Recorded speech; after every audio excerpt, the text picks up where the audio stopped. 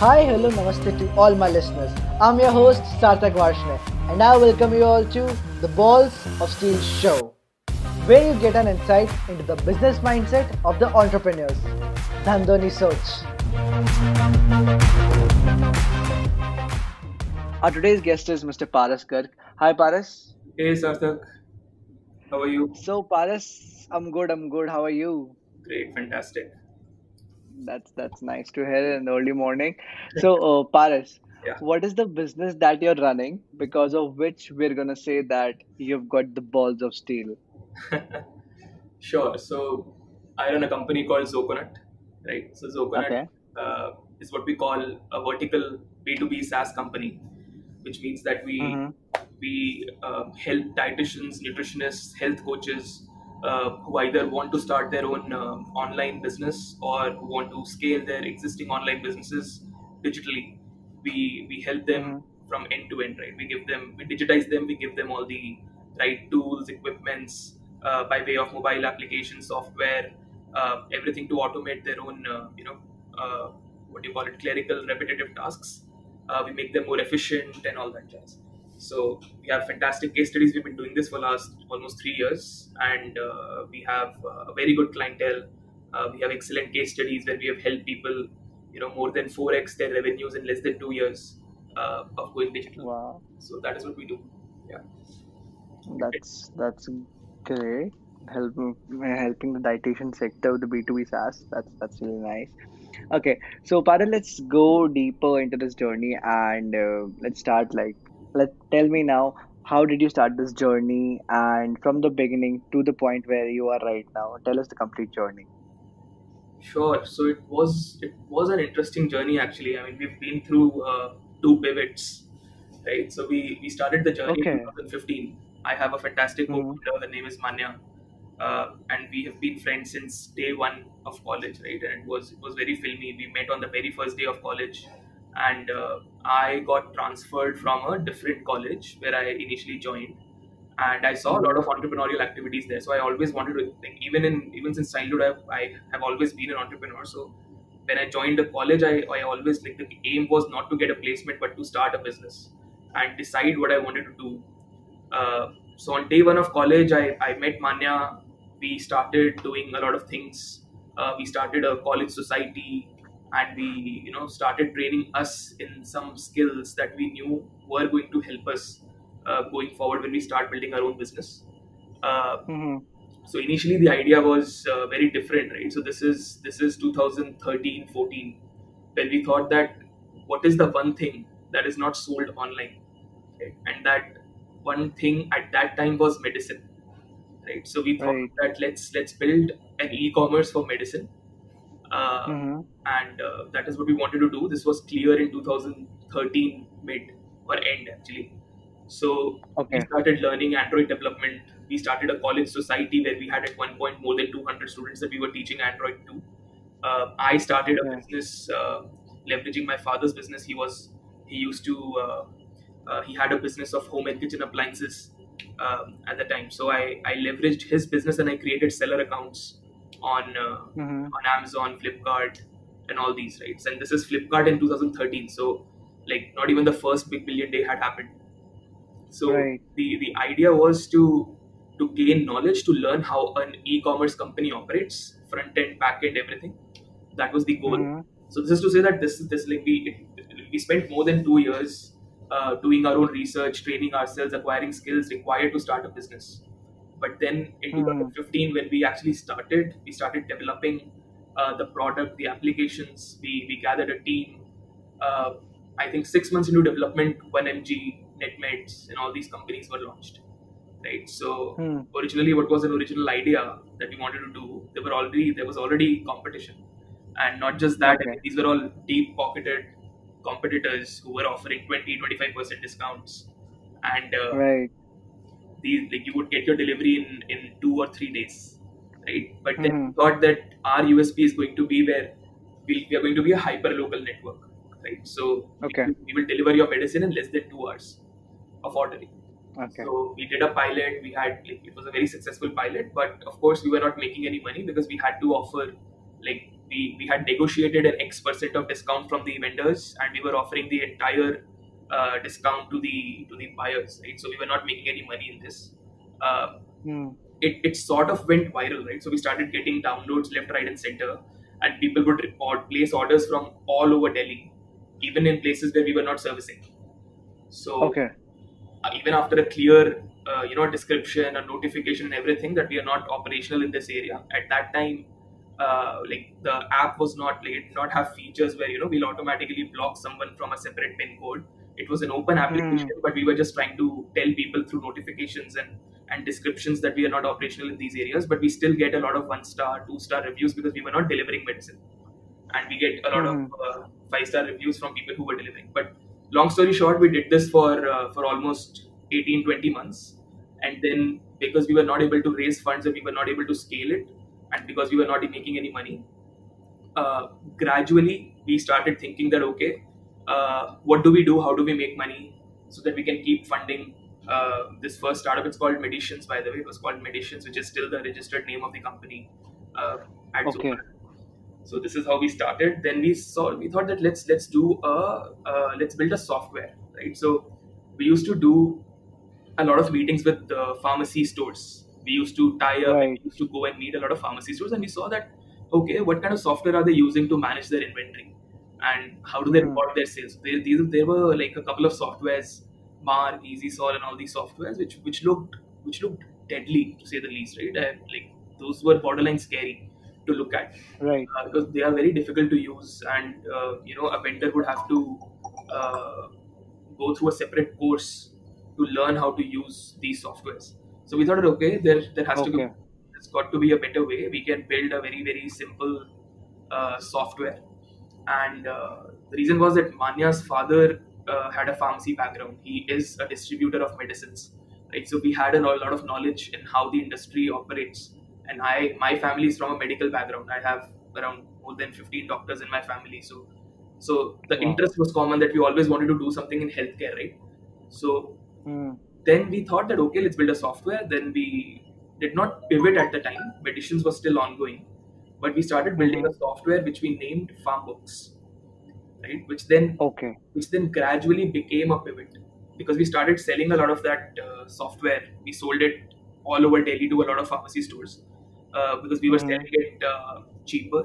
We it had a you know it had all the necessary features, none of that additional jazz to it, but uh, it did the job, right? So we managed to close a lot of pharmacies selling that software, and then we figured on advice of our uh, uh, you know valued advisors who told us that just focus on something that is making you money right? Don't uh, don't burn yourself out trying to build a company that that you don't know how to scale how to win in that market because already there were a lot of backers and there were a lot of small players that also popped up since 1mg and netmeds you know all the chain pharmacies that started their own applications their own online ordering and all that. So we decided that okay let's let's do a pivot. We'll only focus on uh, farm books and by this time this was 2015 uh, sorry 2017 uh, december. Uh, no 2017 january i think. Hmm. yeah. So we started uh, we decided that we'll do a pivot. Uh, then when we jumped into it full time and this was also the time when we were you know sort of graduating from college.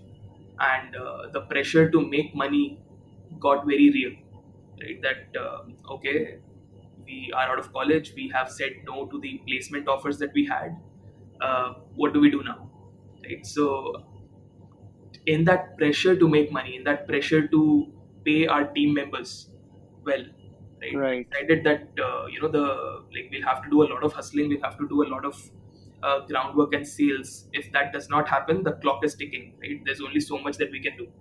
So Hmm. in that effort we started you know selling very heavily at least we were trying.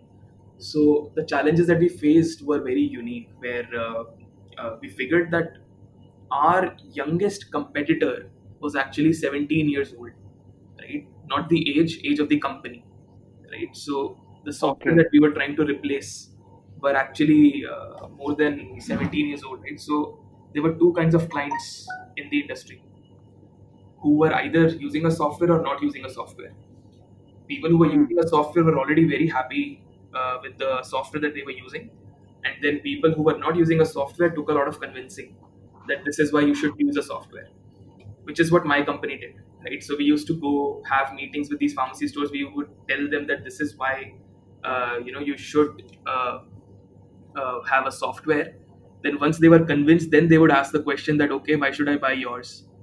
Why should i not just buy the software that my neighbor is using right so we lost Hmm. we, st- we used to lose more deals than we closed right we, Right. Didn't, we didn't know any better so we were trying to do our best uh, but that was apparently not enough not that we didn't like it's not that we burnt out but uh, we thought that uh, you know this is this is going to take a lot more time to scale and build than we think so we need to be Hmm. creative and then uh, in this process by the way we, we lost a lot of team members right there, there were uh, there were people who we were working with uh, since second year or third year of our college. And those people had you know been with us for two three years. And then uh, of course they also had pressure from their families uh, make good money. They had excellent offers uh, from very reputed companies. So like to no fault of their own i mean they of, of course they decided to quit right? And and uh, there were only three people me manya and our third co-founder balkirat who were left right? So okay. There were a lot of ups and downs man. I mean on the team front we so this was the pressure right? So that how will we support our team members? We were anyways not paying ourselves anything but we had to pay our team members. So Hmm. in that effort now this is where the zoconut story starts right? That we are trying Okay. we are trying to figure out that okay how do we uh, solve the money problem uh, in farm books? How do we close more deals?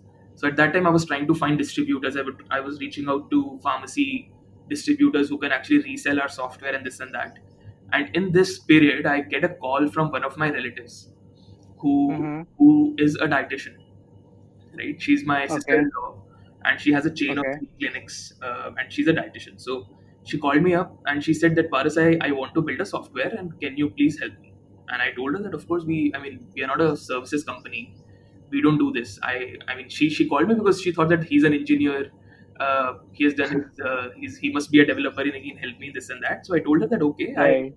I don't do this kind of thing. I can uh, I can refer you to someone else. So I Hmm. kind of it off to my juniors who were at the time building, trying to build a services company, right? So I, Okay. I introduced them, and they started building what became the first version of Zoconut, right? So uh, Okay. th- there were two uh, two of our juniors who were doing this. They had a company called Grafiesto at the time, and Okay. they did a very shabby job you know did a very uh, informal kind of a deal with them no paperwork no mou nothing so they Mhm. started building it almost eight months in i get another call from my sister-in-law saying that who the hell have you introduced me to they are they are not able to finish the job right and she was like "Ki, it's been eight months and i haven't gotten the product yet and this and that so i had to intervene uh, Okay. so i intervened in the product in the project i asked my brother and brother-in-law uh, sister-in-law to actually pay them off just complete their Mhm. payment and i said that i'll take over the project and i will get it finished from my team Hmm. that is when we actually seriously started looking at uh, okay what were they building right what is the business like what is it that my sister-in-law is doing for which she requires a custom software right because being from a medical background and manya being from a pharmacy background we were never really Right. uh, like we had never really looked at the preventive healthcare space. Like we were always in the mainstream medical uh, healthcare space. So this is how Right. we introduced to the idea of preventive healthcare. And then in that process, when we took a deeper, harder look at what the industry looks like, we Hmm. immediately understood that this is going to be a huge opportunity right that this is like we saw that if someone is calling you and asking you to build a software for them this means that there is no existing you know at least that they know of a solution that they can just buy and it will solve all their problems so there was not a solution like that so we so I, I hope i'm not giving you like too much detail right it's, No, no, no. This is good. This is good. This is lovely. Please go on. Yeah, so we thought that okay, learning from our past experiences, where in the farm books journey, the idea was that we'll go from bottom to top, right? Where we'll close Right. smaller pharmacy stores, shop mom and pop shops, and then eventually we'll go and close larger chains, Apollo Pharmacy. Kajit Pharmacy, and all that. In Right. we thought that okay, this looks like a fantastic opportunity. but of course uh, we are stretched to our limits we have got to make money if we don't make money we cannot do a second pivot uh, at this time. Right. we decided that this time if we have to do this we'll do it right. We'll do a top to Hmm. bottom uh, approach where we'll reach out to some of the best names that we know in the industry. We'll try our luck. Chances are very less. But let's see. If we manage to close a deal with one of these big names that we have in mind then we'll Mhm. build a product out of it. Otherwise we won't. Right? Then we'll keep hustling. We'll do you know odd project service and this and that just to make enough money to survive and uh, scale farm books slowly. And we were also trying to raise funds. Parallelly we also had a couple, couple of offers uh, which we declined at the time. So it's not that uh, like we were really struggling. It's just that we were not making money. The business was there but as founders we were not paying anything to ourselves. So Right. yeah so we started doing this and then we reached out to 10 of the biggest names in the country. Uh, we got reply from four of them and we managed to close one of them.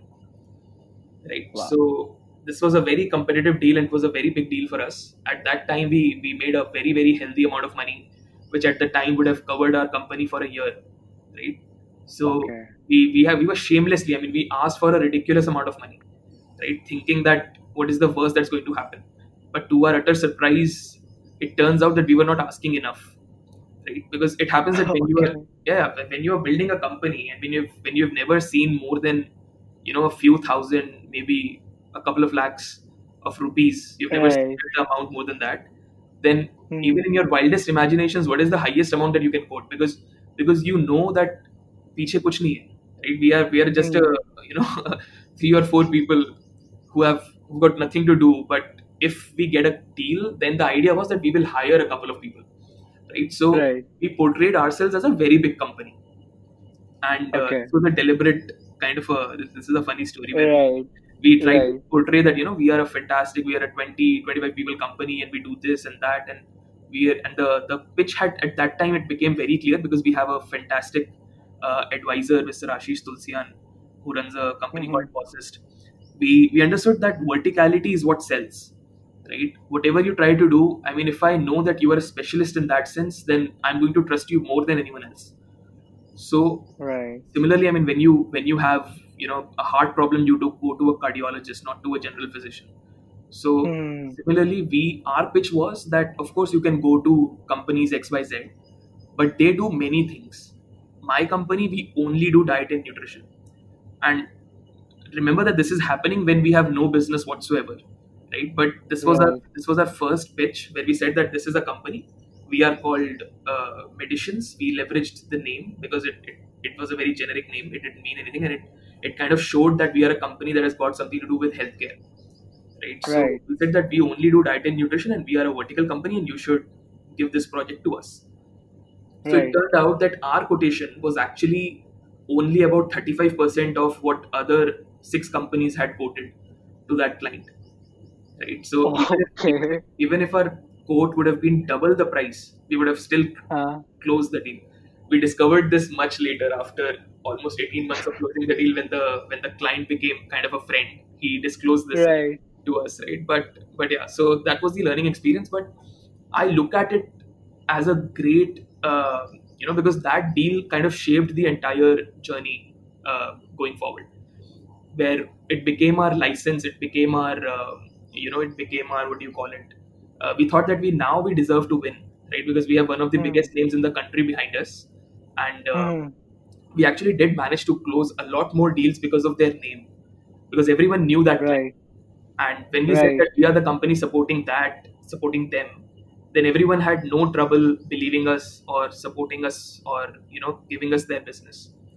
So we did this for almost uh, I'll say two years, from 2017 uh, to 19. Yeah, we did this, and then uh, this was for two years almost. We were trying to build. Uh, we were doing these custom projects for these big names because you cannot build a standard product uh, immediately Right. for these people, right? So we had to learn from them. We had to uh, deep dive into the industry. We had to learn a lot that this is how the dietitian operates. We had to, um, you know, get acquainted with every everything there was to learn about our clients.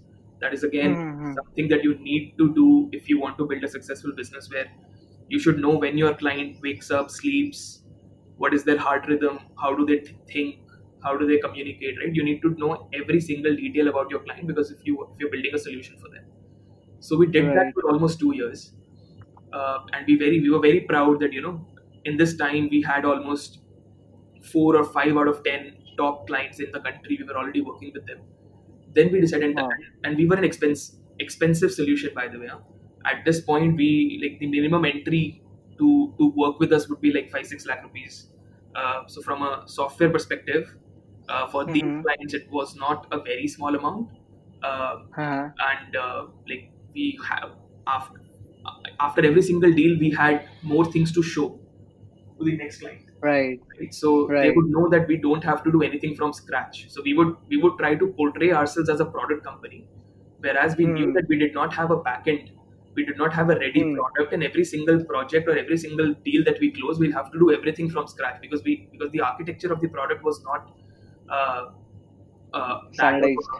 yeah so it was not standardized at all right so that was the back end Right. story that we knew but the client's perception was that their investment is going to be very low so they looked at our Right. pricing as very high but still because the value proposition was very strong and because apparently there was Hmm. no one else doing this or no one else that they could go to uh, and a lot of these clients had already burned their hands lost like good amounts of money trusting a company who were not specialized who did not understand their struggles uh, Mm-hmm. they, they were already uh, you know from that experience so that helped us a lot then yeah Right. it was all it was all uh, i would say downhill from there where we then extracted a smaller version of the product a cheaper product cheaper product so to say on a subscription model uh, we started selling Hmm. it to smaller dietitians in uh, i'll say in the last 10 11 months and we Mhm. have like more than more than 500 dietitians currently who are using our product every single day right and then this lockdown i mean we have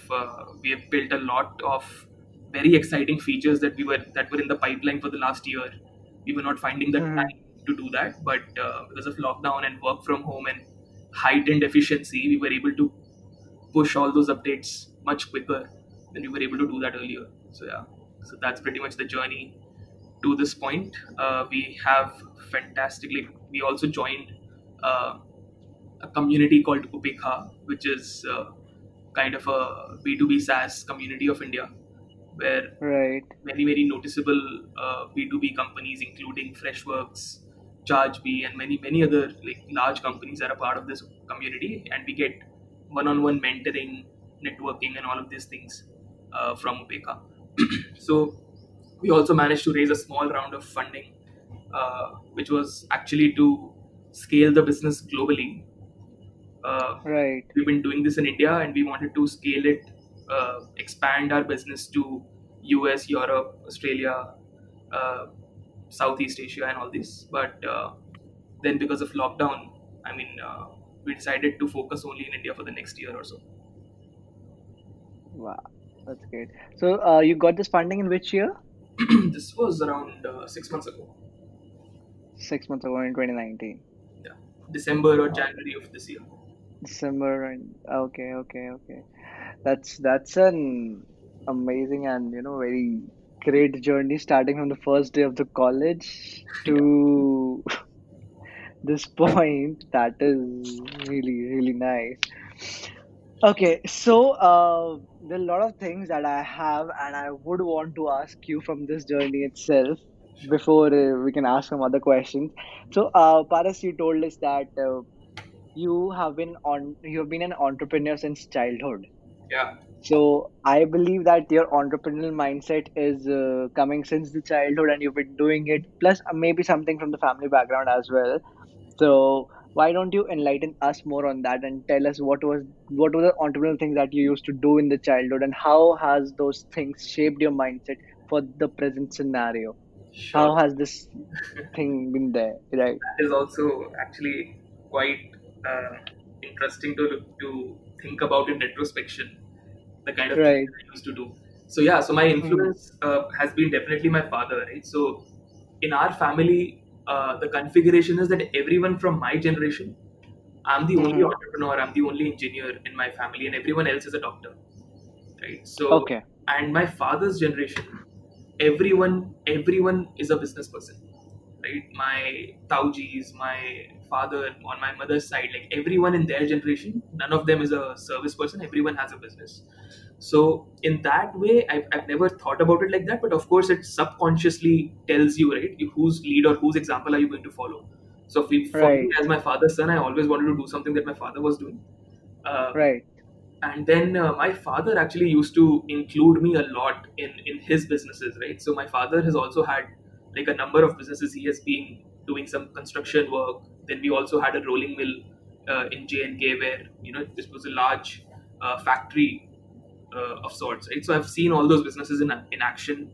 Uh, when i was in Mhm. i think ninth or 10th standard i used to literally manage construction sites right where uh, laborers are working and I'm, I'm actually managing the construction work and all the accounts and everything. So so i've always been actively Okay. a part of all those things uh, because of my father but then on my own the first thing that i did uh, first meaningful thing that i did otherwise i mean there was a lot of uh, small things in school where we used to trade cards and all that i mean that is quite cliche like a lot of Mhm. people used to do that but then Mhm. I think in uh, in tenth or eleventh standard, what I did was that I uh, uh, I used to go to this. Uh, there's a place called Tank Road on Karol in Okay. Karol in Delhi. Right, you would get Mhm. these uh, uh, what do you call shirts. Uh, these were all duplicate shirts of uh, brands, right? So they will they will put their Van Heusen, BlackBerry, Burberry's logos on these shirts, and these were all local shirts. Uh, Right. not poor quality or anything, but these were all like first copy, what they used to call it. And then Okay. I, I find found this out because uh, close to my house there is a like a big market where I saw that these kind of shirts are being sold, and they would tell us that you can get this shirt for 300 350 rupees and the mrp on those shirts used to be like 3000 4000 5000 rupees and i was like mind fuck that what the fuck is happening how are, how are they getting Right.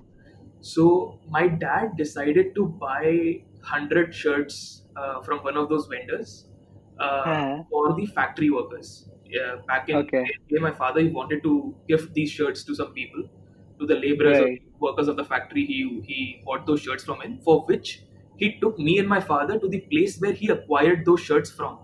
So once Right. I saw that, I independently after that deal was closed after a week or so, I went back on my own to that market and I discovered that the shirt only cost about 125, 130 rupees uh, to buy, and these people Uh-huh. were selling it for 350 rupees. So I started uh, gathering orders from from these street vendors, and I uh, used to acquire shirts uh, from Tom Road, and I used to resell them to these sellers. So I did not do retail. Even at that time, I was still a B two B kind of a person, where I where I bought shirts from one person and sold them to other in quantities not less than fifty. So Right. I did that. That was the first uh, meaningful entrepreneurial thing that I did. I made a good amount of money in that. Then uh, in college days, uh, also another motivation for me when I said that you know I, I made seller accounts on Flipkart, Amazon, and all that. There were actually 2 Mhm. reasons behind that. One was Okay. that of course I wanted to learn how the e-commerce industry operates, which would have helped me in starting my own business gradually. Mhm. But also because my parents' 25th anniversary uh, was coming up, right? And I wanted to I wanted to make money so that I can Mhm. on my own without involving anyone else. Uh, just the three of us are my sisters and me. We could throw a Mhm. party or we could you know do a very good celebration uh, for my parents' 25th celebration. So we did Right. that, and I sold um, around 80 lakh rupees worth of product in a year right so that was Wow.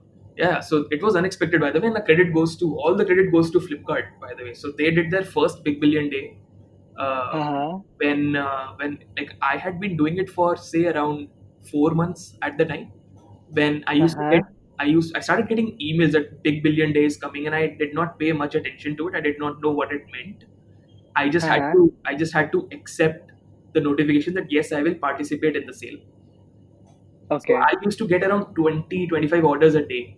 Uh, on the day of Big Billion Day, I got Uh-huh. around 280 orders in the first first 90 minutes of the sale. Right? So, Okay. so, so uh, our seller portals got blocked by Flipkart because they said that they have reached their uh, logistical capacity and they cannot fulfill Uh-huh. more than uh, more than 300 orders per vendor. Uh, which then Right. they again opened at 5 p.m. in the evening, saying that they have acquired more logistical capacity, more trucks and whatnot. Then Uh-huh. again went live for about 30 35 minutes and i again get another 150 orders in that period and close so in a day i got around 450 orders where i used to get only Wow. 20 20 25 orders a day so the amount Uh-huh. was 450 i had to hire three people overnight just to package those orders right and that is when my father really got involved right so where is my entire inventory going so before that, he, was Right. not, he was not that much interested that what am I doing? I'm just, you know, packing 20, 25 items from the warehouse uh, at a time. So he, Uh-huh. he knew that I was doing something, but he never really asked me or he never really, you know, uh, हिसाब नहीं मांगा मतलब कभी कि क्या हो रहा है कैसे हो रहा है there was a very clean Uh-huh. thing where I used to you know keep my margin I used to deposit money in his account with every order. So there was a very clean system that I had myself developed. But when Okay. many many lakhs worth of product got shipped in one single day it became like it, it was like diwali for him right? That we, i sold so much product in one single day. So he, he got uh, intrigued that what the hell is happening? Tell me about it. So he got involved. And then over a span of another six seven months in total i sold product worth 80 lakhs of which roughly i made like a 10 10 12 percent margin so i made around 8 9 lakhs uh, on the total uh, sale, which was my profit after paying off my father his profit share and this and that. Uh, this is the money that I made. So I spent a lot of this money on my parents' 25th anniversary. So yeah, so I was always Uh-huh. I was kind of always creative, trying to find out ways how to make money.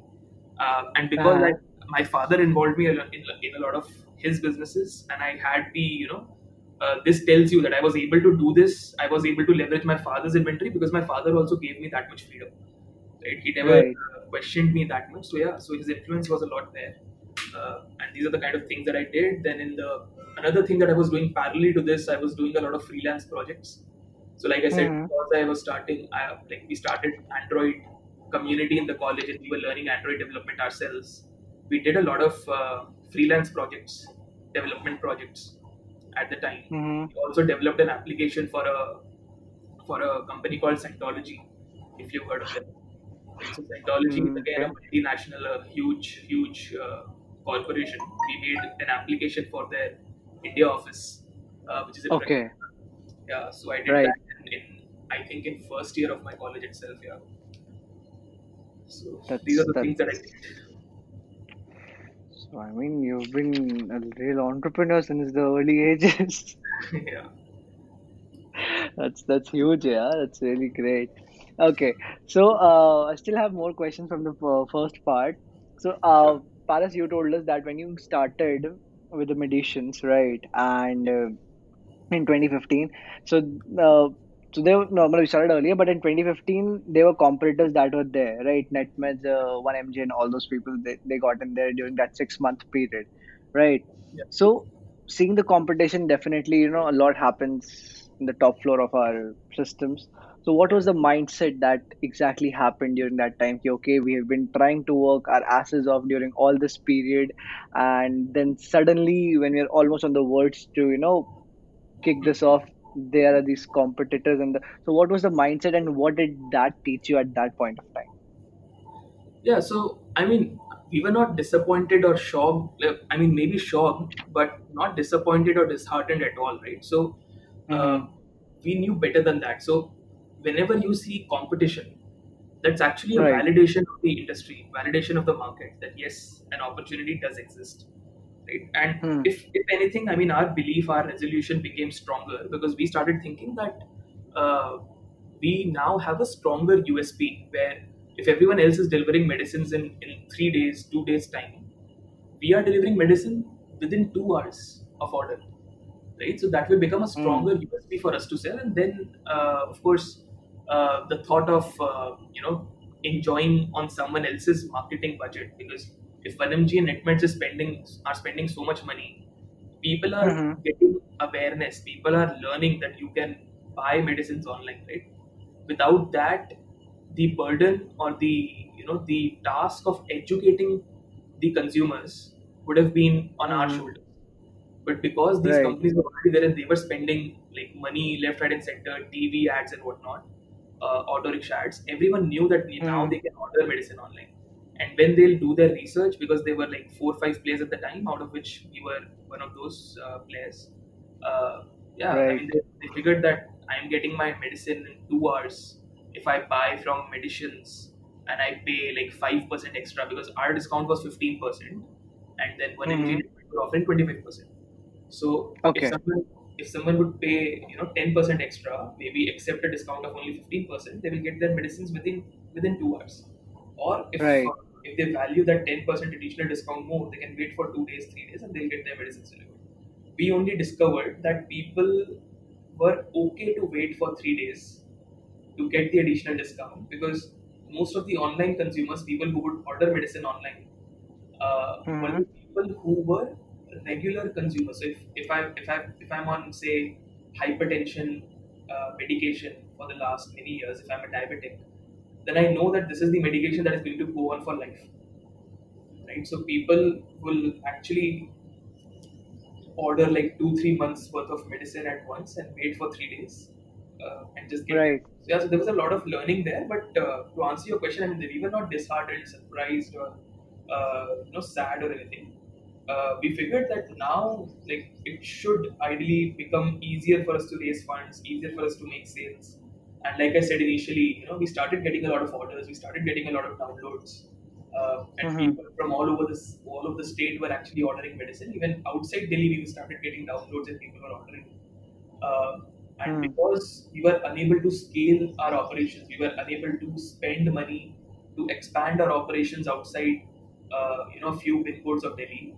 That is why we had to pivot. Okay. Okay. That's nice. That's nice. Okay. So, uh, there's another thing that you uh, told us that you know, Manya's father had a pharma- pharmaceutical background, and uh, you had a your family has a medical background, and that too, you're from the from from from your father's and mother's generation. Most of the people are into the business background, uh, apart from your generation, where the people are in the, as uh, working as the doctors. Yeah. So, if I look uh, at it from the bigger picture, it's like you know, there are a lot of derivations for you and Manya that are coming from the family background, right? In terms of business, in terms of the industry that you're working at. Okay. So if I may ask that how what do you think how does the family family background play a role in developing this business mindset in which your generation or maybe our generation starts doing a business?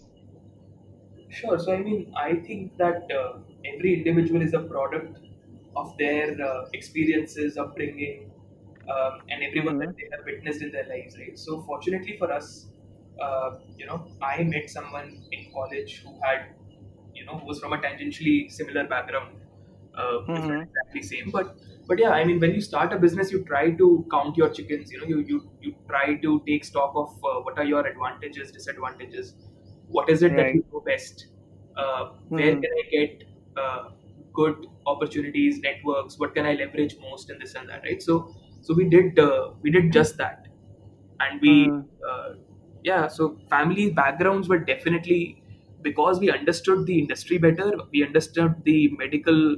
Uh, you know the industry in general better we had more connections in that we decided to start there so yeah that was I mean for anyone i would say that family support family background their experiences matter a lot uh, especially if someone is a first time entrepreneur you'll you'll see that you know whoever uh, starts early in their age someone who has hmm not done um, any jobs or you know who has not worked at some other company then the Right. place for them to get their experience and leverage their experiences from the family and friends or the educational institution which where they at right? For us hmm. this was our first job. We've never worked at a company right? We started this Right. company we were in third year of our college. So uh, to the point when we started we were only only and only coming from our family uh, experiences our our uh, family backgrounds and and all that so yeah that, that plays a very important role Okay.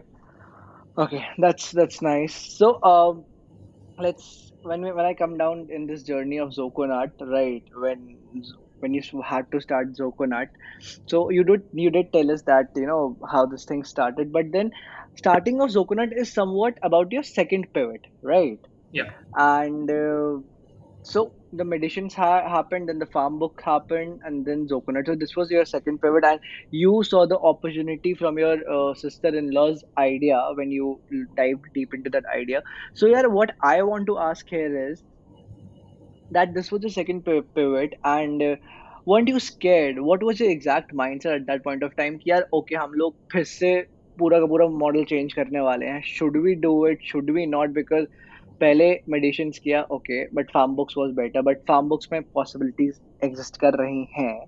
But still we want to do it so what was the mind set at that point of time opportunity दिख रही है, वो बात समझ आती है। But then वो is this switch worth it because as far as I have read and I have known it's like a lot of research needs to be done and you know so uh, when you're doing a pivot it needs to be very very stronghold yeah this is the only thing or this is the thing that needs to be done so what was your mindset and manya's mindset when you decided okay, okay we are going to make this pivot so there are there are different kinds of uh, pivots Sarthak. so if hmm. let's say if i'm in uh, i'm in the preventive healthcare diet and nutrition industry if i want right. to let's say and hypothetical right it's never going to happen hmm. all the listeners but let's say if we decide to pivot from B two B to B two C, right? Mhm. Then that is a pivot where like it's a very very critical pivot business wise where I'm still in the same business, whereas Right. uh, in our previous two pivots where we have entirely changed the businesses we've entirely changed the industries right then those pivots are very different as compared to what i'm uh, when i'm pivoting within the same business where i'm pivoting my target audience or i'm pivoting my model but i'm in the same industry. So at that point Mhm. the struggle or the mindset was just to make money right? Because like i said the survival uh, was in shape our, our ability to continue on the entrepreneurial path was was on the line. And uh, even though both of our parents were very very supporting uh, we Mhm. continued even after graduation of our college we continued on our entrepreneurial journeys for almost a year without making any money we only started making money from 2017 end right? So for the like i'll say for the first three years overall of our entrepreneurial journey we managed to do a lot of networking meet a lot of people make some name for ourselves uh, but uh, we were not actually making any money at that time right? So the mindset was only to do something which will make us money and something that we can continue to do for a long time. So the mindset that was clear since day one Mhm. Were, were two Mm. things one was that we do not want to go and do a job right because Mhm. we can do that at any time we did not want to quit uh, on our entrepreneurial dreams and second was that we don't want to be a services company we want to build a product that was also Mhm. very clear since day one that uh, you know anyone can open an IT company today, get a bunch of clients or a couple of clients, sign one client in the US who's paying you in dollars, and they'll start calling Mhm. themselves a services company. We did not want Right. to, right? We were all from uh, very uh, you know very dedicated technical backgrounds. Uh, all of us Mhm. in our team at that point had very very good offers from very good companies. Right so we we always had this mindset that whatever we do we'll go deep into it we won't do like we won't do anything horizontal we won't con- keep on doing one thing over and over again right we'll we'll select our niche we'll select our industry we'll select our product and then we'll do a deep dive into it and become the best in that segment. So this thought was very very crystal clear in even in the first uh, business that we did. So these were the two things that helped us made our make our pivots. And another thing that i would like to say is that in our case at least the none of the pivots Mhm. were uh, you know abrupt. All the pivots were very, very gradual. So the first Okay. pivot was you know farm books came into existence as an idea to support medicines which was our first business. But then Right. Some point in the future it became clear to us that we were getting more excited we were getting more money for doing farm books as compared to medicines so we made it like we decided to drop uh, medicines altogether at like Mhm. much later right so it wasn't a very abrupt uh, decided pivot it became a pivot now in retrospection but for us it was never a pivot so to say right we didn't know the word pivot we did not even know that Okay. right? Right. So in the second time, of course, at that time we knew a lot of things. We knew that we are making a pivot, uh, and yeah, that was uh, I'll say a relatively more abrupt pivot, but uh, we had to make that decision because those were so contrasting uh, in nature, and uh, Mm-hmm. both were very very elaborate products, right? And there there was a rabbit hole problem, of course, because wherever you decide to go deep, um, you will have to, uh, uh, you know, you'll get a hundred more feature requests, developers, and this and that. So you have to manage a lot of things. Um, Hmm. the difference I would say between Farmbooks and Zoconut for us, which which clicked very hard, was that Farmbooks like we were selling it for at a ticket size of twelve to fifteen thousand rupees per annum, right? Right. But for Zoconut, I mean, we were selling it for ten to fifteen thousand rupees a month, right? So Wow. Zoconut and the diet and nutrition industry very clearly was a heavily underserved industry, and it became crystal clear to us that this is a much bigger opportunity for us. And uh, India is not even the biggest market for the product that we are building. And uh, we were always Mm-hmm. be curious about building a global product. That was another motivation uh, that was there since day one of our college, that we wanted to do something on a global scale and we saw that opportunity in diet and nutrition and not in the pharmacy space right? So all these matter like all these uh, uh, what do you call it? All these factors helped uh, while making the pivot. And like i said uh, we were questioning ourselves right? We were trying to be very intelligent very calculated in taking risks. When we said that we'll do a top to bottom approach only if we close one of the bigger like big one of the biggest clients in the country if we close them then only we'll decide to build a full-fledged company out of it which fortunately for us did happen right so that is how the, Right. that is how the pivot happened right in retrospection it was never like very very abrupt that you know one day you wake up and you say that okay i'm going to shut this business down and i'm going to start this business farm books got Mhm. completely shut down even like i'll say around six to eight months after we had started zoconut right so ऐसा भी नहीं है कि all the clients who were using farmbooks there are still a lot of clients Uh-huh. who are using who are using our farmbooks uh, software today right it's just that we Mhm. have suspended all support uh, to them but yeah so you cannot you can never escape uh, what you started doing earlier That's that's absolutely right, and that's nice to say. Okay, so uh, Paras, like uh, now, I want to bring up something uh, in which you know what we have heard and seen, and uh, we normally see around, like aapke to we can say that you know you had a family business background and you've seen your father uh, probably something same with man with manya as well. But we know that you know there are lots of lots of entrepreneurs out there who start later there in life. Some some people start in their 20s some start in their 30s after their jobs. And when they make a decision okay no uh, this is not working out for me and then they'll then they start stepping into this journey right? So at that point they have a complete different mindset. No doubt they are grown up matures and sab kuch hota hai, but there's a complete different mindset and doing a business is totally different is what you do at a job right? Yeah. And every step you're learning. So you started it very early and you started at the age of 9 and 10 when you were managing your uh, manage, managing the workers at the construction site. So i would say that that is also a learning where you're learning how the hr part somehow somehow right? So what i want to ask here is you started at ninth uh, at the age of 9 10 उसके बाद आपने वो merchandise वाला bus- uh, छोटा सा business किया था so what did you learn from that like what was the specific specific part of the business you learned from there was it daringness was it uh, the hr was it uh, m- making money whatever it was like give me some insight on that part i'm i'm literally sure pushing you to go back in time and think but yeah i want to know what you learned that point of time Sure. So, uh, Sarthak, I mean, again, uh, this is the first time I'm actually deeping so, like diving so deep. Uh, uh, so I'm actually thinking out loud, right? So, uh, when I think about what I learned when I was doing, you know, when with my father at a very young age, when I was getting exposed to all these business opportunities and I was managing uh, people at a young age, for me, mm-hmm. I never, uh, you know, at the time I did not know what was happening. At the time, I did not know that what I'm getting to experience is privilege, right? right For me, it was it was like normal. My father one day said that okay, let's go there. My father actually initially we used like he used to ask me to sit on the computer and make some uh, invoices and this and that. So my father used mm-hmm. to help me like uh, see me as a technical help, right? But then Mm. one day in my summer vacations, he took me on site and he figured that okay, Paras can do this. Uh, let me Mm-hmm. Let me leave it to him, right? So it was very gradual. If I if I try to think about what I learned from them, I'll uh, learn from there.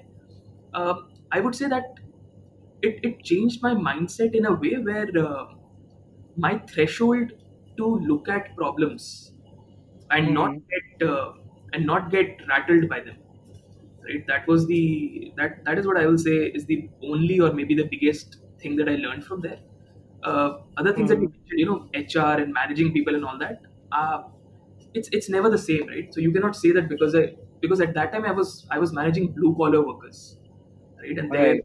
their mindset and like they are very different people than uh, than who we work with today then the only thing that I would say that a meaningful contribution at that time was that I get I got exposure in a very young age, which which uh, which helped me experience things that most people do not experience in their entire lives.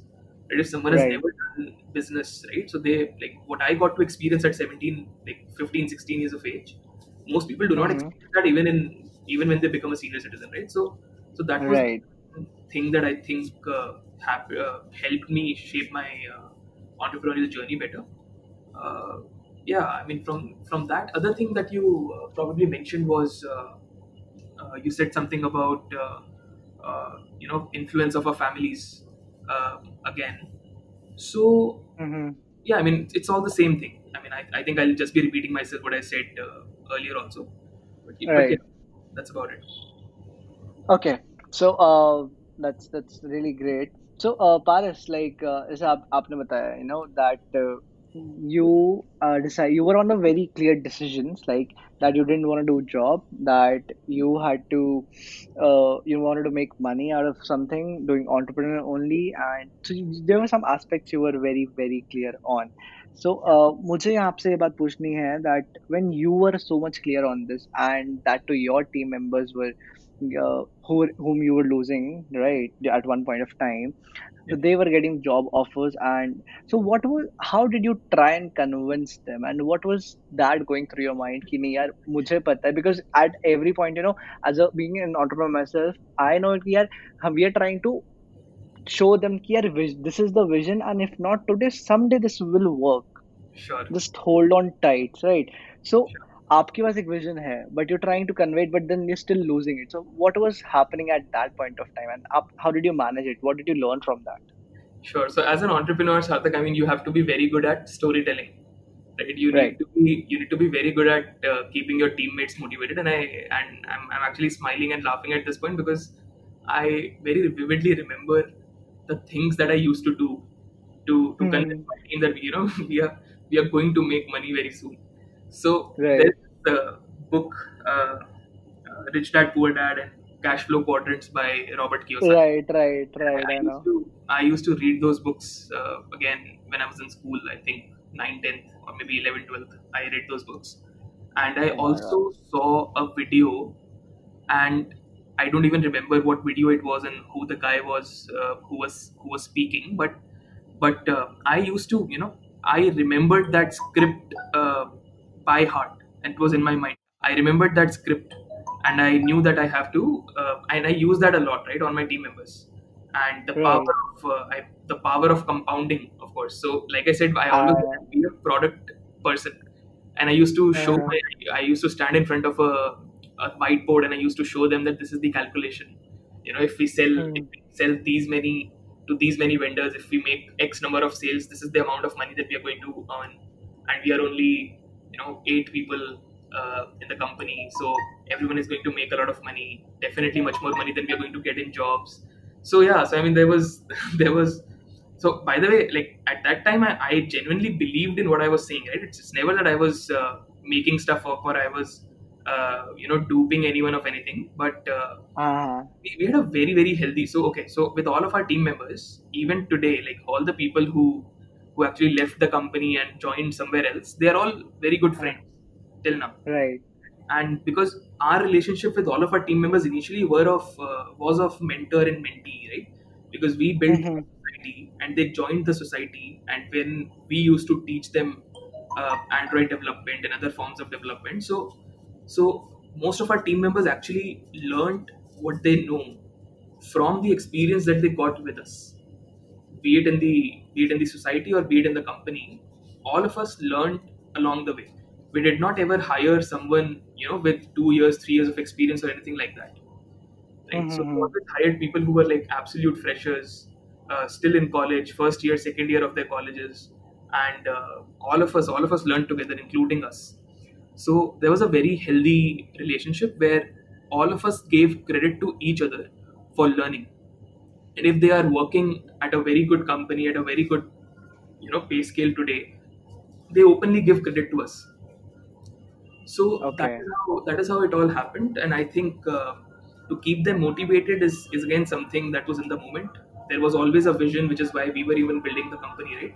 So that vision Right. you need to be very vocal about what you are building. You need to be very uh, you know very open about the vision you you need your team members to to to view the same thing that you are viewing right? If you're a founder if you're building a company there's definitely a dream there's definitely a vision or there's definitely an imagination of what your future is going to look like. Then you need to Mm-hmm. be creative and you need to be very convincing when you are sharing that dream with someone else. If they don't if they don't agree with you or if they don't see the same thing that you are seeing then definitely you are going to lose your uh, team members. So what i mean is that whenever we lost a team member it was not Mm-hmm. really a loss right? Because it's not that uh, like they, these were never uh, unpleasant departures or someone saying that okay i'm out right? It was never like that. Manya and i we uh, fortunately had a very good network uh, in the ecosystem at the time. And we in fact helped a lot of our team members get placed in other companies uh, we even helped one of our team members who was our cmo at the time start his own company uh, which today Okay. by the way is doing very great right so yeah so i mean we have been those kind of people even today i mean even in the company at zoconut when we have 16 employees who are all uh, you know we are all like we are paying them at like more than industry standard and even Okay. today if someone comes up to us and tells us that you know they are not enjoying their work or they want to make a change then Mm-hmm. we value their contribution because we value them as a person we try to keep them within the community. So we are more than happy to write recommendation emails to a bunch of our friends who have other companies who can pay them more than us and we get them placed somewhere else right? So till date we are trying to maintain that culture of openness. Anyone and everyone who needs career advice or you know whatever anyone is feeling they are very comfortable to come forward and share with us. That is one of our big achievements and i'll say uh, something that a lot of uh, big companies don't have uh, Mm-hmm.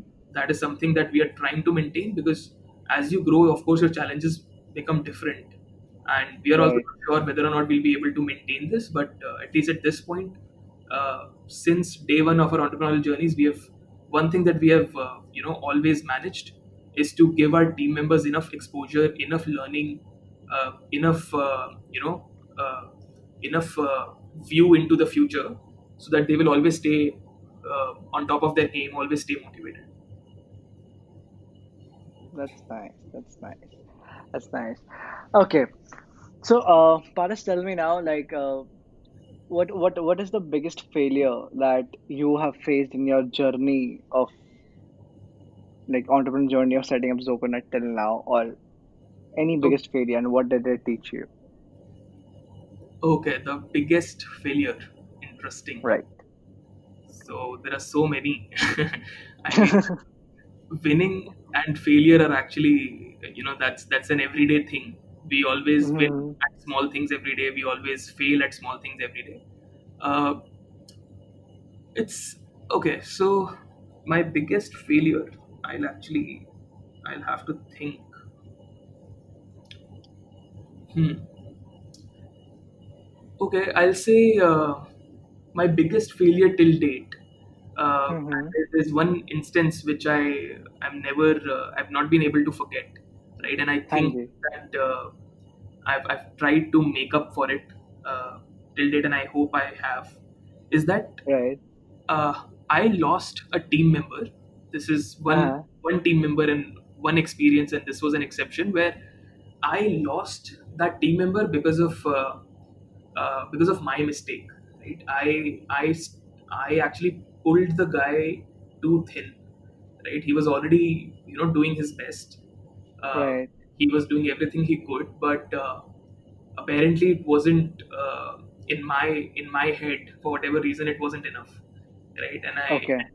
something needed to be done and it was urgent and you know there was a lot of things at line uh, so and he was the only guy who could do it so i actually stayed up all night with him on calls. Mm. uh, in in my head i was actually supporting him right? In my head i was i was like even though i did not have to do anything it was all him. Mm. but i would still stay with him on calls. I will also wake up all night and i will try to you know complete uh, what needed to be done. But that actually you know created many fractures in the uh, in the relationship and his experience at a company and uh, Okay. that guy decided to leave us i think within within two weeks after that. Right? And that uh, Okay. that was a great guy right? He was he was fantastic at his job. He was super duper motivated. That is why you know in my head i thought that he can do it and he'll be happy to do it and he's you know he's phenomenal and we'll do it together and he's invested. But i somewhere failed to to understand and to uh, you know pick up the signals that i was getting initially that he's not comfortable and i should not push him to do things uh, that much. In my head even though we were paying him you know extra and even though i was there to support him and we made it not about money we were trying to just achieve something which i thought that he could.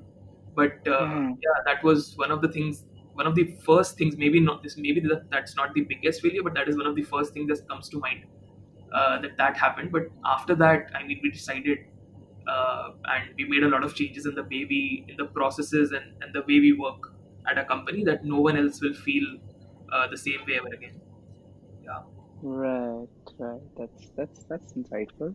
Okay. otherwise So, I, mean, uh, I mean you you you win and lose deals every day right so Yeah. I, I try not to measure failure and success in terms of money, in terms of uh, deals, or in terms of closures, or you know business growth and this and that. Uh, Right. I don't think we are you know that big even today to measure success or failure in that sense.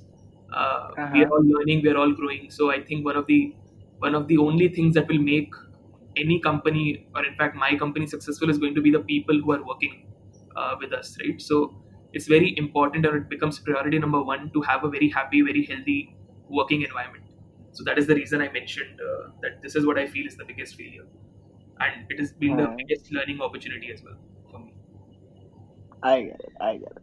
So, uh, Paras, if I say, like, looking at from your entrepreneurial mindset and everything, if I ask you, like, are you a are you a money-minded person? Oh, of course, yeah, yeah, hundred percent. So, so you And you have to be. See, I mean, okay, so it's not about okay. So let me break it down for you, right? sure. So money. I mean, if I ask you to elaborate, what is money minded? Right? Hmm. Money is for us a tool, a resource which helps us grow. Right? Right. Uh, money minded Hona is a necessity, and that is why you Hmm. have uh, co-founders in your team. I have Right. two fantastic co-founders. Manya is my, you know, Manya and I like we built the company together, and we added uh, another co-founder. His name is Balkirat. So all of us know what our job is in the company, right? Right. Manya and Balkirat, if you'll ask them, are they money minded? They are not, right? Because we have deliberately uh, divided roles in the company, and my role is to be money minded. Why? Because money Okay. money is a derivation of value, right? So what we think, okay, so do we use the term money in the company a lot? No, Mm-hmm. Right? We don't think in terms of money. But Hmm. the essence of your question is uh, is what I'm actually building on, right? So what you mean by money minded is actually uh, is is indication of uh, how much growth capital, how much capital, or how much you know are we Mm-hmm. do I do I care about that? Do I value that? Then the answer is yes, Mm. right? But the Right. lingo or the or the term or the or you know the values that we use every day or we think about is actually value, right? That how much value are you creating for the other person? Uh, how much value do your clients get out of your product? And then the outcome of that or the byproduct of that is money right? And money is something that is of value to everyone in the world, and our team members Mhm. use that money. Like someone very intelligent, I don't remember the name, said that it's not money that you want; you want the things that you buy with money. Mm.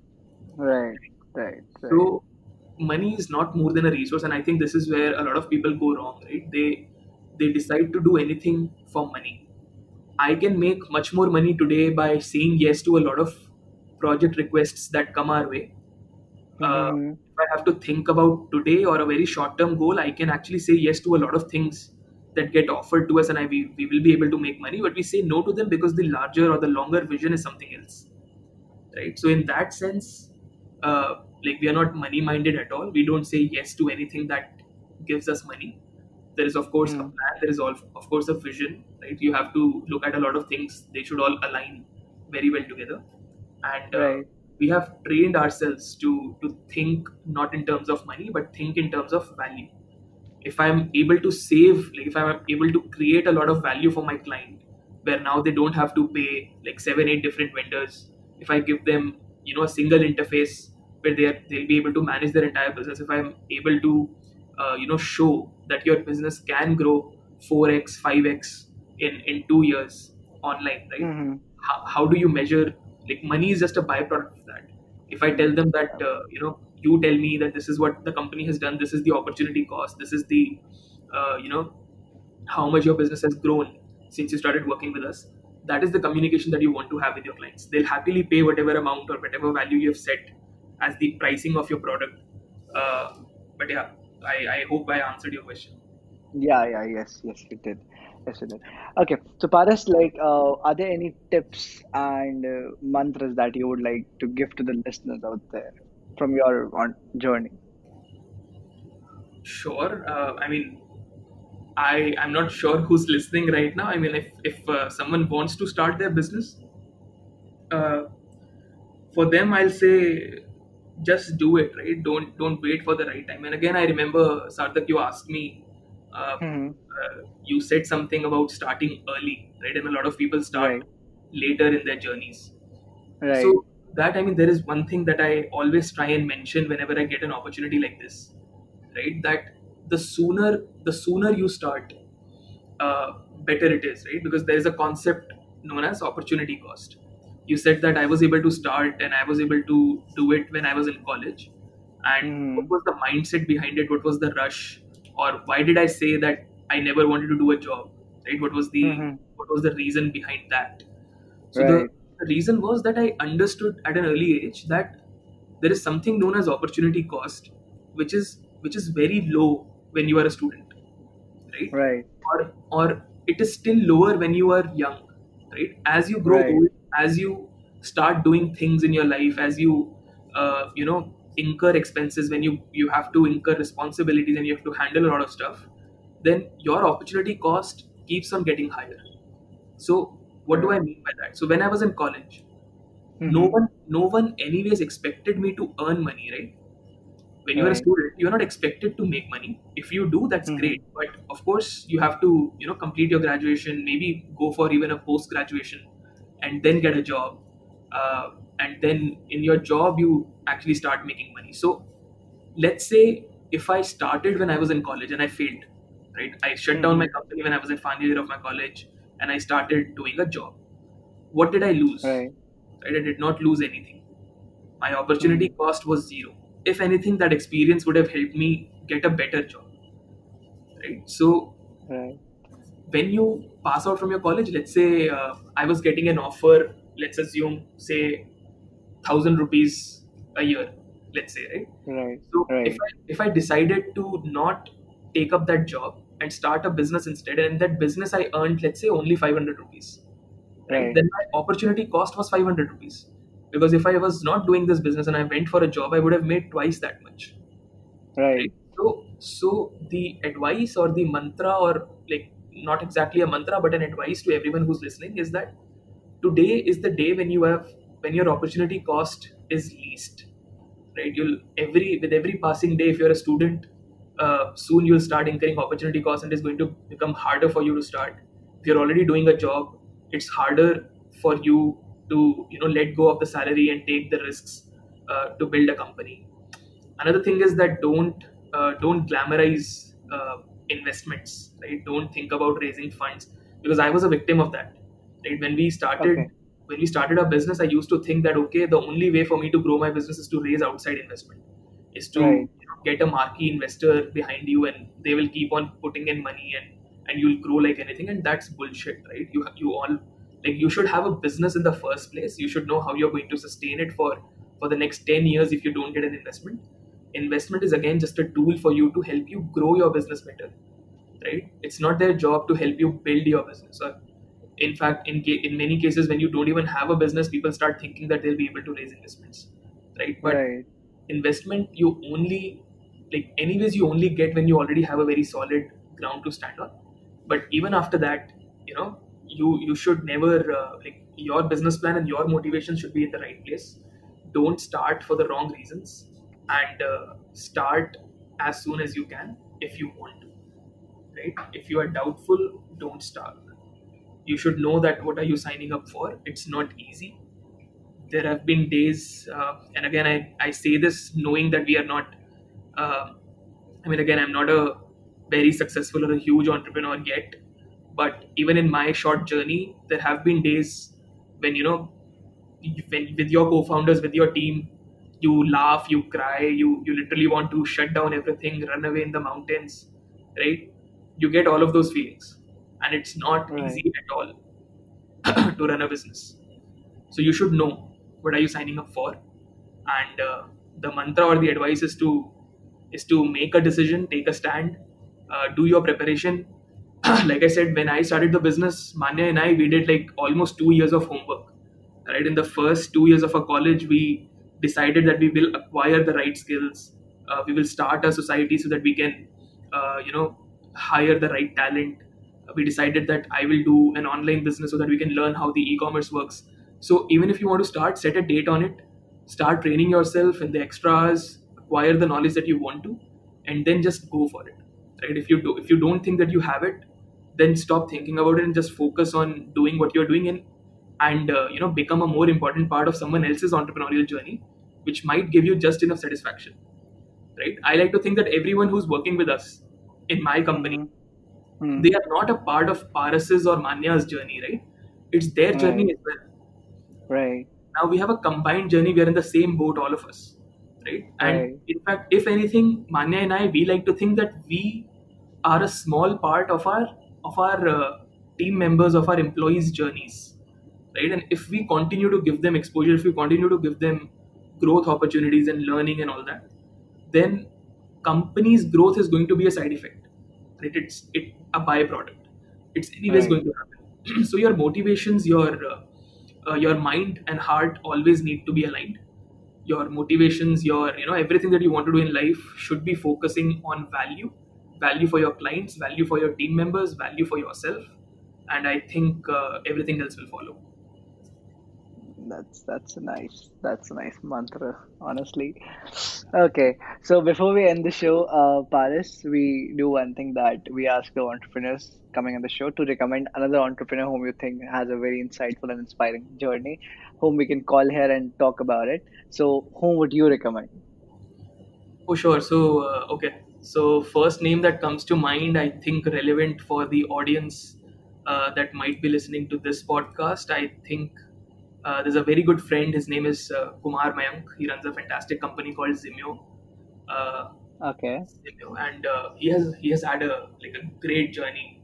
It will almost give you goosebumps, right? And uh, he's again uh, one of uh, one of the source of inspirations and motivation for all of us.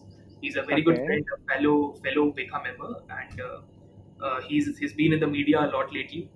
Uh, his company is getting a lot of exposure, and I think uh, he has a fantastic story to share, which might be a great addition to the show. So yeah, okay. recommend uh, Mayank. Thank you so much. Then we'll make sure that man comes on the show. And with that, we come towards the end of the show. And I want to thank you, Paras, so much for coming here and taking out time. And this has been very, very insightful. Honestly, I mean, looking at your journey, the way you started and the way you've been doing things and everything, like it's it's just very, very inspiring. Thank you, my friend. And the you for having me. Yes, yes, yes. It's it's definitely a pleasure. And one thing that I really like is, you know, that persistence that uh, if I want to do this, I am gonna do this. No matter what happens, no matter the hurdles. So You have got to have a thick skin, that's for sure.